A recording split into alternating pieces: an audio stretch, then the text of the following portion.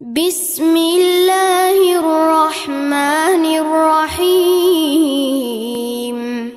قل هو الله أحد அஸ்ஸலாமு அலைக்கும் வரஹ்மத்துல்லாஹி வபரகாத்துஹு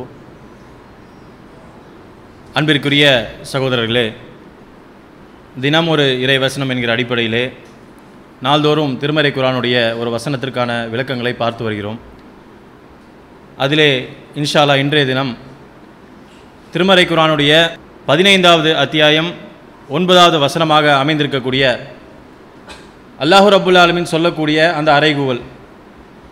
இன்னா நஹனு நஸ்ஸல் திக்ர வைன்னா லஹு லஹாஃபிதுன் இந்த அறிவுரையை நாமே அருளினோம் இதை நாமே பாதுகாப்போம் என்கிற ஒரு அறைகூவலை அல்லாஹு ரபுல் ஆலமீன் இந்த வசனத்திலே இடுகிறான்.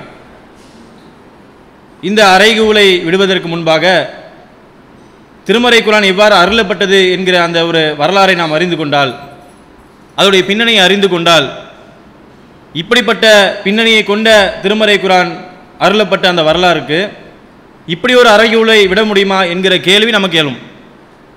திருமறை குரானை பொறுத்தளவிற்கு ஒரே முறையாக நபிகள் நாயகம் சல்லல்லா அலிஸ்லாம் அவர்களுக்கு அருளப்பட்ட வேதம் கிடையாது. இருபத்தி மூணு ஆண்டு காலமாக அருளப்பட்டிருக்கக்கூடிய வேதம்.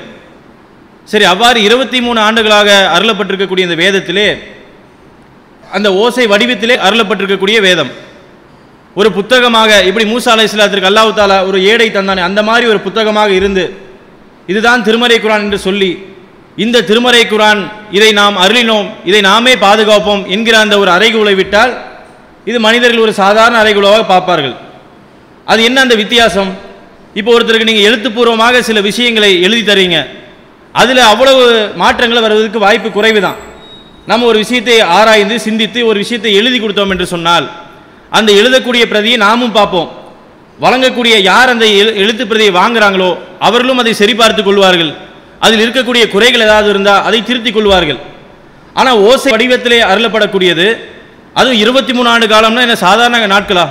இருபத்தி மூணு ஆண்டு காலமாக சிறிது சிறிதாக அந்த சந்தர்ப்பத்துக்கு தக்கவாறு திருமறை குரான் வசனங்கள் அருளப்பட்டுட்டே இருக்குது அப்போ அந்த இருபத்தி மூணு ஆண்டு காலமும் அருளப்படக்கூடிய சின்ன சின்ன சொற்பமான வசனங்கள் அல்லது ஒரு பத்து வசனங்கள் என்ற அடிப்படையிலே பலதரப்பட்ட வசனங்கள் அருளப்பட்டிருக்கிறது.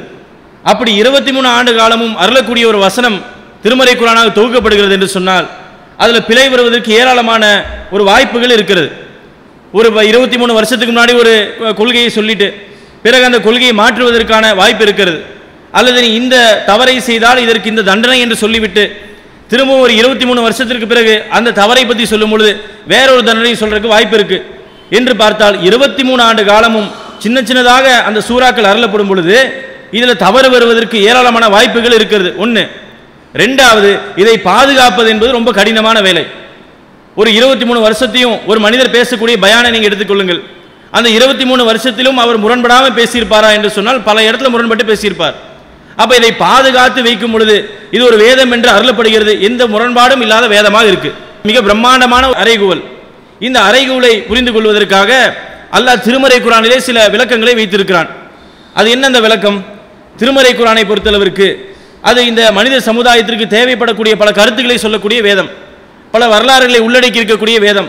பல அறிவியல் பூர்வமான சான்றுகளை முன்வைக்கக்கூடிய வேதம் என்று பல சிறப்புகளை பார்க்கலாம். அப்படி இருக்கும் பொழுது திருமறை குரானிலே நூற்றி பதினாலு அத்தியாயங்களில் ஒரு இருபத்தி ஒன்பது அத்தியாயங்களில் மாத்திரம் சில வார்த்தைகளை வைத்து அல்லாஹ் ஆரம்பம் செய்வான். நாமெல்லாம் அனுதினம் ஓதக்கூடிய இந்த சூரத்தில் பக்ராவிலே அலிஃப்லாம் மீம் என்று ஆரம்பிக்கிறது போல ஒட்டுமொத்த திருமறை குரானிலும் நூற்றி பதினாலு அத்தியாயங்களில் ஒரு இருபத்தி ஒன்பது அத்தியாயங்களை ஆரம்பம் செய்யும் பொழுது இந்த வார்த்தைகளை போட்டு அல்லாஹ் தாலா ஆரம்பம் செய்வான். இந்த வார்த்தைகளை பொறுத்தளவிற்கு அதுக்கு பொருள் கொள்ள முடியாது. இப்போ அலம் அப்படிங்கிற வார்த்தை இருக்கு அலிஃப்லாம் மீம் மூணு போட்டா அலம் என்று படித்தால் அலம் என்று சொன்னால் இதற்கு என்று பொருள் வைக்கலாம். அலம் என்கிற வார்த்தைக்கு இதற்கு என்று பொருள். அலிஃப்லாம் மீம் அப்படின்னா என்ன அதுக்கு அர்த்தம்? அர்த்தம் சொல்ல முடியாத பொருள் செய்ய முடியாத அந்த வார்த்தைகள். அப்போ இதை வச்ச உடனே நம்ம மத்தியில் ஒரு குழப்பம் ஒரு என்னடா அது அல்லாஹ் ரபுல் ஆலமி பேசியிருக்கக்கூடிய இந்த வேதத்திலே தேவையில்லாத சில வார்த்தைகள் இருக்கிறது இது எதுக்கு தேவை என்று நாம் நினைப்போம். ஆனால் நபிகள் நாயகம் சல்லா அலுவலாம் அவர்கள் எதிர்கொள்ளக்கூடிய சமுதாயத்தை கொஞ்சம் யோசிச்சு பாருங்கள் இறை தூதர் அவர்களை பொறுத்தளவிற்கு ஒரு உம்மி நபி எழுத படிக்க தெரியாத ஒரு மனிதர். ஆனால் அந்த இறை தூதருடைய சமுதாயத்தில் இருக்கக்கூடிய மக்கள் எப்படி? சஹாபாக்களும் சஹாபாக்கள் அல்லாத ஆட்களிலும் சில பண்டிதர்கள் மேத மேதாவிகள்லாம் இருந்தாங்க. மொழி விற்பனர்கள்லாம் இருக்கக்கூடிய அந்த காலகட்டத்திலே அல்லாவின் தூதர் இது அல்லாவிடத்திலிருந்து அருளப்படக்கூடிய வேதம் என்று சொல்லி அலிஃப்லாம் மீம் அப்படின்னு சொல்கிறாங்க மக்கள் எந்த கேள்வியும் கேட்கல. ஏன் கேட்கலன்னா அந்த அரபியர்களுடைய வழக்கத்தில் என்ன இருந்துச்சுன்னா சில உயர்தர அந்த இலக்கியங்களை அவர்கள் மக்கள் மத்தியிலே பகிரங்கப்படுத்தும் பொழுது மக்கள் மத்தியில் பெரிய ஒரு இலக்கியங்களை எல்லாம் மக்கள் மத்தியிலே பிரச்சாரம் செய்யும் பொழுது ஒரு கவிதைகளை சொல்லும் பொழுது நல்ல உயர்ந்த இலக்கியம் இருக்கிறதுக்கான தரத்தை என்ன வச்சிருந்தாங்கன்னா அது ஆரம்பிக்கும் பொழுது சில சொற்களை சொல்லி ஆரம்பிக்கக்கூடிய அந்த வழக்கம் அரபியர்கள்ட்ட இருந்துச்சு. அதனால தான் நபிகள் நாயகம் சல்லா அலி இஸ்லாம் அவர்கள் தூதராக அனுப்பப்பட்டிருக்கக்கூடிய சமுதாயத்தில் இறை தூதர் மீது ஏ- ஏராளமான விஷயங்களை குற்றச்சாட்டுகளாக வைக்கிறாங்க. இறை தூதர் சொல்லக்கூடிய கொள்கையில் ஏராளமான குறைகளை கண்டுபிடிக்கிறதுக்கு முயற்சி செய்கிறார்கள். ஆனால் ஒரு மனிதர் கூட ஒரு சகாபாக்கள் கூட கேட்கல. அல்லாவின் தூதர் இதுக்கு என்ன அர்த்தம்னு கேட்கல? ஏன்னா அந்த மக்களுடைய வழக்கத்தில் இருக்கக்கூடிய அந்த வாசகம். அப்போ இது எப்படி திருமறை குரானுடைய பாதுகாப்புக்கு இது ஒரு சான்றாக இருக்கும்? அதையும் நீங்கள் திருமறை குரானிலே பார்க்கலாம். இன்னைக்கு நம்ம வைத்திருக்கக்கூடிய திருமறை குரானிலே இந்த ஜேர் ஜபர்லாம் போட்டு எழுதியிருக்கோம். இதை வைத்தால்தான் அரபு பேச முடியாதவர்கள் எல்லாம் அரபியை படிக்கக்கூடிய ஒரு வாய்ப்பு கிடைக்கும். ஒருவேளை ஜேர் ஜபர் எதுவுமே இல்லாமல் திருமறை குரான் எல்லாம் அந்த பழைய காலத்தில் அருளப்பட்ட வேதம் மாதிரி இருந்து அதில் எழுத்துக்கள் மாத்திரம் இருந்து ஜேரும் கிடையாது ஜபரும் கிடையாது. எதை நீட்ட வேண்டும் எதை நெறிலாக சொல்ல வேண்டும் குறிலாக சொல்ல வேண்டும் என்கிற எந்த வித்தியாசமும் இல்லாமல் இருக்கக்கூடிய அந்த அரபியை நம்மளால் படிக்கவே முடியாது. ஆனால் திருமறை குரான் நீங்கள் இப்போ எடுத்து பார்த்தாலும் கூட சூரத்துல் பக்ராவில் அலிஃப்லாம் மீம் ஆரம்பிக்கிறான் அல்லா தாலா அதே போல் சூரத்துல் ஃபீல்ல அலம் தர கைஃப என்ற அந்த வசனத்தை ஆரம்பிக்கிறான். ரெண்டுக்கும் ஒரே வார்த்தைகள் தான். அலிஃப்லாம் மீம் எப்படி இதில் போட்டிருக்கோ அதே மாதிரி அலிஃப்லாம் மீமும் தான் அந்த சூரத்துல் ஃபீலில் இடம்பெற்றிருக்கு. ஆனால் இது நம்ம கிட்ட இருக்கக்கூடிய திருமறை குரானில் இந்த ஜேர் ஜபர்லாம் போட்டு வித்தியாசப்படுத்தி காமிச்சிரும். அலம்ங்கும் போது அலிஃபுக்கு மேலே ஒரு கோடு லாமுக்கு மேலே ஒரு கோடு மீமுக்கு மேலே ஒரு சுக்குன்னு போட்டு அலம் அப்படின்னு படிப்போம். ஆனால் அது இல்லாத மக்கள் நீங்கள் யோசிச்சு பாருங்க. ஒரு பழைய காலத்து மக்களுக்கு இருக்கக்கூடிய திருமறை குரானில் இந்த மாதிரி சேர் ஜபர் இல்லாட்டி எப்படி படிப்பாங்க?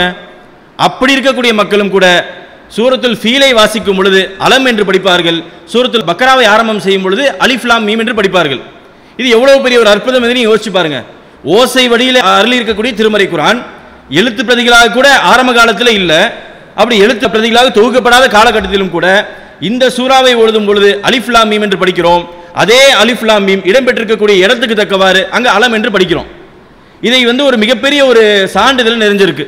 இந்த கிறிஸ்தவர்களை பொறுத்தளவுக்கு நீங்கள் சாதாரணமாக நீங்கள் இறைவேதத்தை வந்து களங்கப்படுத்துவதற்கு முனைப்பாக செயல்படக்கூடியவர்கள் அவள் தான் அவங்க என்ன பண்ணுவாங்கன்னா ரெண்டு புத்தகங்களை கொண்டு வந்து ஒன்று வந்து வர்ஷ குரான் இன்னொன்று ஹப்ஸ் குரான் என்று கொண்டு வருவாங்க. இந்த ரெண்டு புத்தகத்தை கொண்டு வந்து இதில் சில எழுத்துக்கள் மாறி இருக்கிறது. இதில் சில எழுத்துக்கள் மாறவில்லை என்று சொல்லி அது ஒரு பெரிய ஒரு டேபிள் மாதிரி போட்டு இதில் இருக்கக்கூடிய வார்த்தைகள் எல்லாம் இதில் மாறி இருக்கு என்று சொல்லி ஒரு கருத்தை முன்வைப்பார்கள். இது ஒரு அடிப்படையில் தவறான ஒரு கொள்கை. ஏன் தவறுன்னு சொல்றோம் தெரியுமா?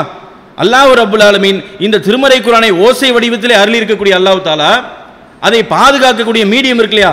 அதை பாதுகாக்கக்கூடிய அந்த மீடியம் அதையும் ஓசையாக வைத்திருக்கிறான். அதை அல்லாஹ் தாலா திருமறை குரானில் சொல்லி காண்பிக்கிறான். ஃபி சுதூருல்லதீன ஊத்துல் இல்ம். இந்த திருமறை குரானை பாதுகாக்கக்கூடிய அந்த ஒரு அதிகாரத்தை நான் எடுத்திருக்கேன். அதை அதுக்கான உத்தரவாதத்தை நான் தரேன். அதை எப்படி பாதுகாப்பேன்? ஃபி சுதூருல்லதீன ஊத்துல் இல்ம். கல்வி வழங்கப்பட்டவர்களுடைய உள்ளத்திலே பாதுகாக்கப்படக்கூடிய ஏடாக இருக்கிறது. அப்போ மனனம் செய்யக்கூடிய ஒருத்தர் அர்ஷு குரானை கொண்டு வந்தாலும் சரி வருஷ குரானை கொண்டு வந்தாலும் சரி ரெண்டு குரானில் இருக்கக்கூடிய வாசகத்தை படிக்கும் பொழுது இவர் மனநம்ல எப்படி இருக்கோ அப்படி படிச்சுட்டு போயிடுவார். உதாரணத்துக்கு சூரத்துல் பக்ராவை படிக்க ஆரம்பிக்கிறாரா? அலிஃப்லாம் இன்னும் படிச்சுட்டு போயிடுவார். இதே மனிதர் அலம் தர கைஃபன் வந்திருக்கா? அது அலம் தர கைஃபன் படிச்சுட்டு போயிடுவார். அப்போ இது ஒரு மிகப்பெரிய ஒரு சான்றாக இருக்கிறது. அல்லாஹ் ரபுல் ஆலமின் சொல்வதைப் போல இன்னா நஹுனு நஸ்ஸல் நசிக்கிற வ இன்னா லஹு லஹாஃபிதூன். இதை இந்த அறிவுரையை நாமே அருளி இருக்கிறோம் அதை பாதுகாக்கக்கூடிய அந்த முழு பொறுப்பை நானே ஏற்றிருக்கிறேன் நல்லா சொல்கிறானே அது ஒரு மிகப்பெரிய ஒரு அறைகூலாக இருந்து பதினாலு நூற்றாண்டுகள் கடந்து வந்திருக்கும். பதினாலு நூற்றாண்டுகள் கடந்து வந்து ஒரு வார்த்தை கூட மாறாத அளவிற்கு அந்த மனநலத்திலே உள்ளத்திலே திருமறை குரான் பாதுகாக்கப்பட்டிருக்கிறது என்று சொன்னால் இதுதான் அல்லாவுடைய வேதம் என்பதற்கு மிகப்பெரிய சான்று. அப்போ இப்படிப்பட்ட விஷயங்கள் எல்லாம் திருமறை குரானில் நிறைய இருக்கிறது. இந்த விஷயங்கள் எல்லாம் படிக்கும் பொழுது நம்முடைய ஈமான் அதிகரித்து இது அல்லாவிடத்திலிருந்து தான் அருளப்பட்டது என்கிற அந்த ஒரு முடிவுக்கு வந்து திருமறை குரானை முழுவதும் பின்பற்றி மரணிக்கக்கூடிய மக்களாக வல்ல ரஹ்மான் உங்களை நினைவு ஆக்கில் புரிவானாக. வாஹிர்தான் அலஹந்தில் ரபில் அலமின் அஸ்லாம் வலைக்கம் வரமத்துல வர்காத்து